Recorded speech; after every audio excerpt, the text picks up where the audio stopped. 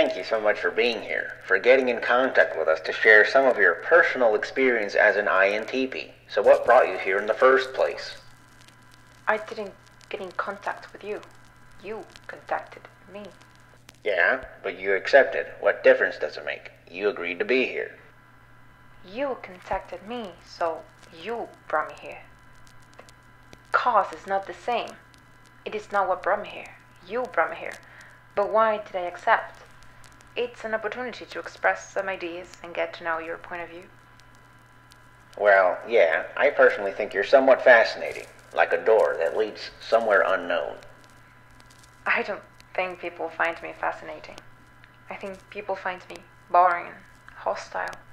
More like a door they wouldn't open. So let's say I open the door. What will I find? Nothing interesting. Do you want this conversation to be over? Yes, Why? I don't see any merit in asking that kind of question. What kind of question? The kind of question where you assume I will open up and share something I barely share with anyone. Assuming that behind the door there are explicit, understandable, and relatable things. I just can't tell you because I don't have the language to tell you what's behind the door. There's no point in just directly asking something that personal. You need to see it by yourself. But you won't open that door for me? No, I can't. I naturally can't. Plus, there is a high possibility that you will decode what I say into known things for you, which is normal. Everybody does that. But I really want someone to understand without wrongly decoding what I say. Sounds like you have trouble connecting with people. I do. I do. I think I complain with myself about not connecting with people, but as soon as someone tries to connect with me, I just won't let them because I don't want to. I enjoy building walls around me. It's more than just about protection. I just want to make sure that when I deal with people in a more personal level, it is the kind of people I really want to deal with. I imagine all of this has brought some trouble when interacting with people close to you. Am I right? Well, yeah, people around me feel I don't care about them. And why do you think that is? I don't do the things they expect from me. I care. I just don't do it the way they want me to. So, you say there's a pressure to perform a certain way. Indeed. I think for all of us, it is the same, don't you think? Yeah, everyone is dealing with social expectations, especially in these times. Everybody is asked to act happy, nice, approachable, and even though it might be hard, they somehow achieve it. But I try, and no matter what, it's draining. Besides, getting along is not enough reason to waste so much energy.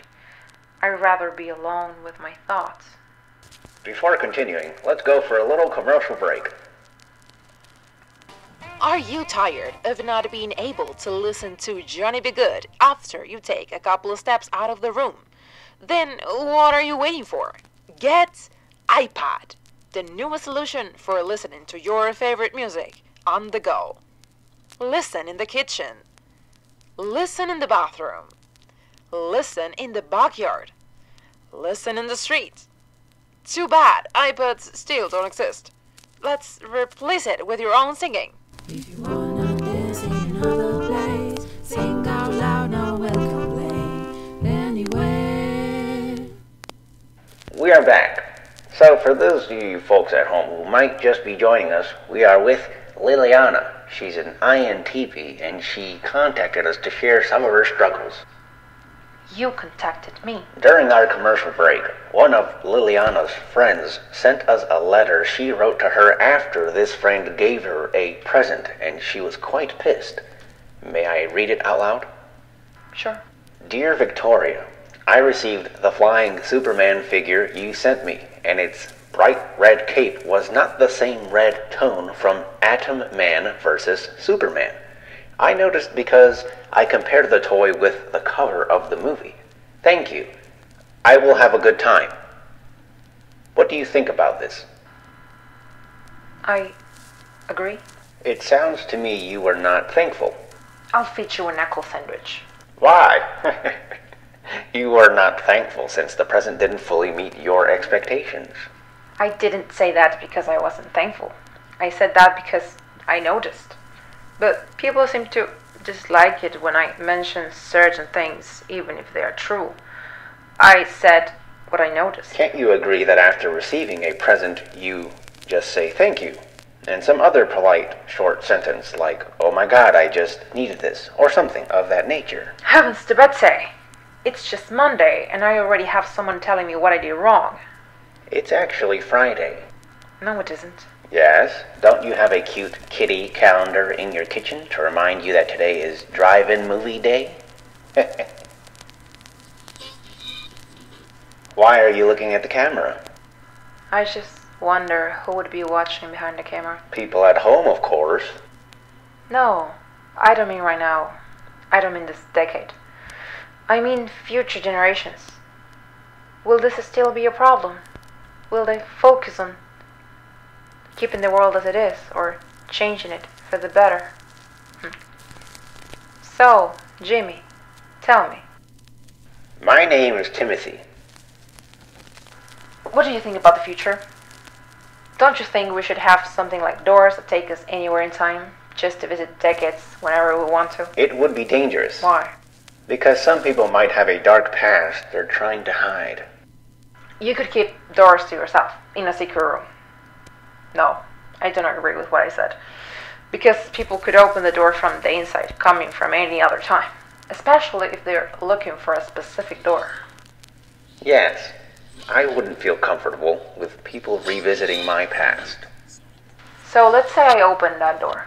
What will I find? Nothing interesting. Do you want this conversation to be over? Yes, Why? I don't see the merit in asking that kind of question.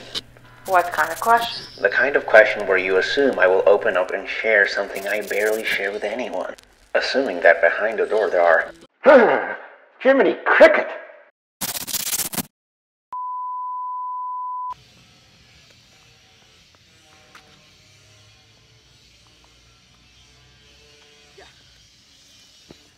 Oh, that was so hard. Oh my gosh.